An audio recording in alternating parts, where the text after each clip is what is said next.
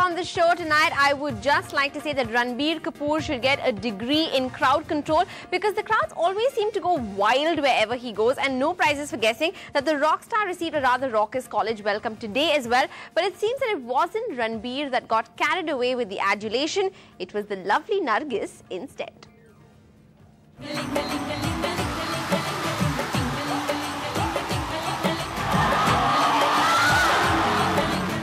They may managed to stave off any rumors of an off-screen relationship, but that certainly wasn't stopping Nargis from being carried away quite literally by Ranbir Kapoor.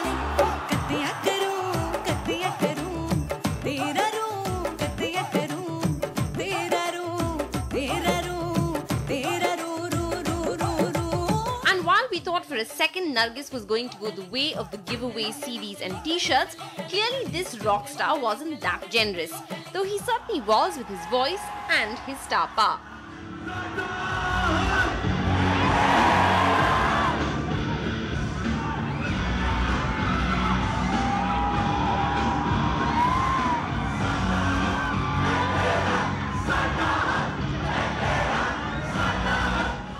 Which had the crowd saying yeah, yeah, yeah for more reasons than one.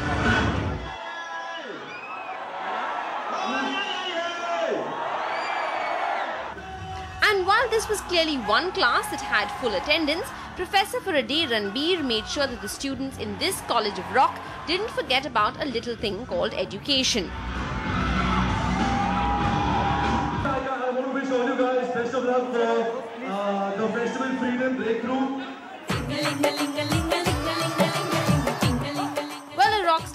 Campus may not exactly be conducive to concentration, but hey, at least the extracurricular activities are taken care of. Something Ranbir knows a thing or two about. In Mumbai with Iqbal Parvez, Beverly White for NDTV. NDTV's Cricket app, Android and iPhone. Fastest scorecard, special analysis, and much more. Download free. ndtv.com slash apps.